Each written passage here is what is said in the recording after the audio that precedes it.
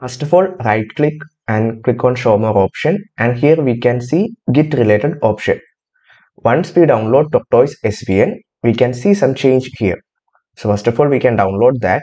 So go to Google Chrome and type download Tortoise SVN and click on the downloads link given here. And here we can see the current version is 1.14.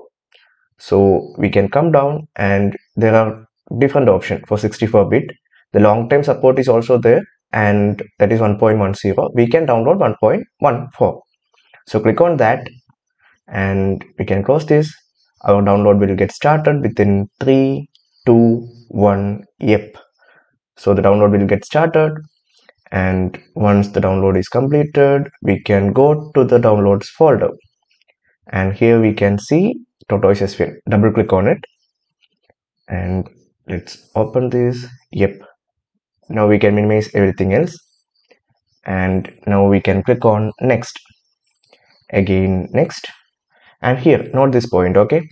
You need to click on this drop down command line client tool and select this. Then only we can use the tortoise svn from our ide if you are using intellij then from that ide so enable this okay?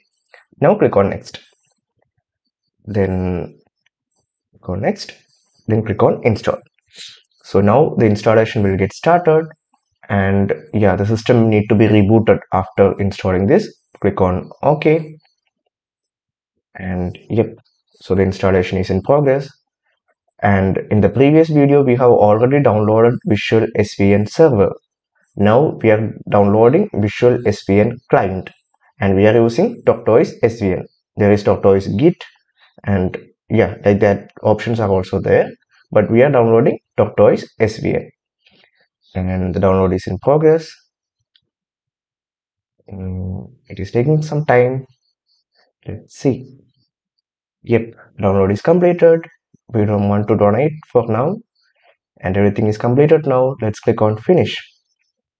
And yeah i will reboot this later since i am taking the video recording the video click on no now just right click and go to show more option and here other than git we can see the svn checkout and tortoise svn option. And now we can create repository we can do this tortoise svn commands and all. So that's it. We have downloaded tortoise svn